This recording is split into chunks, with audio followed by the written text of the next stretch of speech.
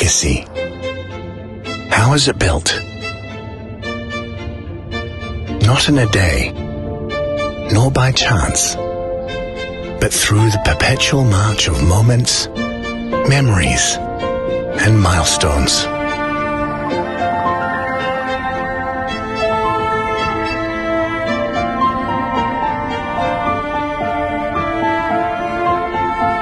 By holding steadfast to our values and choosing the right path, we write the story of our future in the very present.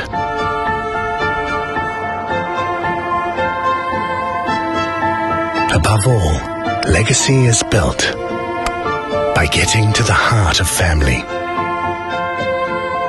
A timeless home to gather and grow relationships with whom we love. Make your legacy an endearing masterpiece. Watten House.